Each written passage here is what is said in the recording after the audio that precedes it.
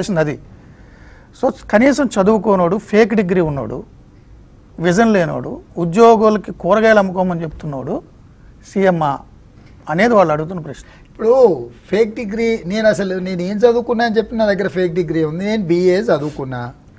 నా క్లాస్మేట్స్ ఇక్కడ రెండు కాలేజీలోకి వచ్చిన వాళ్ళు నేను ఎల్ఎల్బి డిస్కంటిన్యూ చేసిన నేను ఎన్నడూ ఎల్ఎల్బి అని రాసుకోలేదు.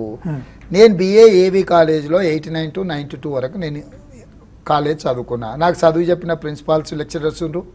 నాతో పాటు చదువుకున్న వాళ్ళు నాకు తెలిసి మీ టీవీ ఫైవ్లో జట్టి కుసుమ్ కుమార్ గారు.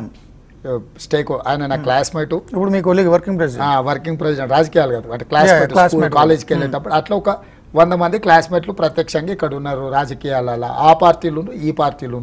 నేను పెద్ద అమెరికాలు పోయిన ఐటీ నిపుణ్ణి నేను బాత్రూంలో అడిగిన నాకు నైపుణ్యం ఉంది బాత్రూంలో అడగడంలో ఏ వాషింగ్ పౌడర్ వాడితే తెల్లగా మెరుస్తుందో అని నేను ఎప్పుడని చెప్పినా. అంటే అమెరికాలో ఉన్నప్పుడు ఎవరి రూమ్లో వాళ్ళు కడుక్కుంటారు అది మీకు తెలియదా అంటారు? అంటే మీరు ఇదేమంటారు? నేను అడిగాను నేను అడిగాను. హా, అదే అదే అదే దాంట్లో హౌస్ కీపింగ్ అంటారు కదా.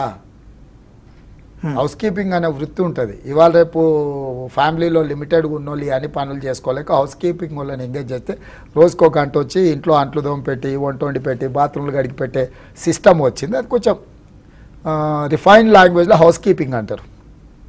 సో ఈయన గారికి ఐటీ ఉద్యోగం ఈయన చదువుకున్న చదువుకు ఉద్యోగం దొరకకపోతే ఈ పని చేసేటోడు. ఈయనతో పాటు పని చేసిన వాళ్ళు చాలా మంది నాకు తెలుసు. ఎందుకంటే అదే అమెరికాలో నాలుగున్నర లక్షల జీతం అప్పట్లోనే వదులుకుని వచ్చాను అన్నారు కదా. అదే ఏ కంపెనీలో కంపెనీ చెప్ప అంటున్నా.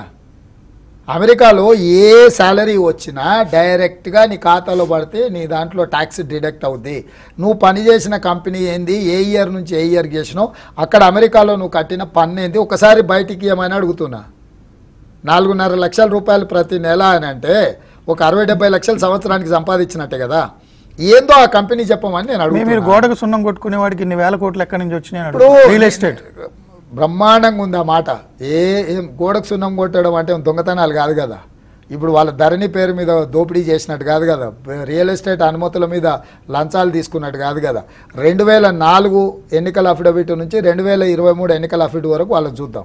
నా ఎలక్షన్ నేను జడ్పీటీసీ నుంచి మొదలుపెట్టినప్పటి నుంచి ఈ రోజు వరకు చూద్దాం. నేను కోకపేట మంచిరేవుల నార్సింగ్ ఈ రోజు చర్చ జరుగుతుంది. రెండు వేల కంటే ముందు నా రియల్ ఎస్టేట్ కంపెనీ ఎన్ని ఎకరాలు కొనుక్కున్నది ఎన్ని ఎకరాలు అమ్మింది ఎన్ని ఎకరాల గేటెడ్ కమ్యూనిటీస్ మేము కట్టినాం. మొత్తం బ్లాక్ అండ్ వైట్లో ఇన్కమ్ ట్యాక్స్తో సహా మేము భూములు కొన్నాయి అమ్మినాయి. నైంటీ నైన్లో ఈ జూబ్లీల్ సొసైటీకి నేను డైరెక్టర్ని కన్వీనర్ని. జూబ్లీల్ సొసైటీ నైంటీ నైన్లో నేను రాజకీయాలు వస్తానని కూడా తెలియదు కదా.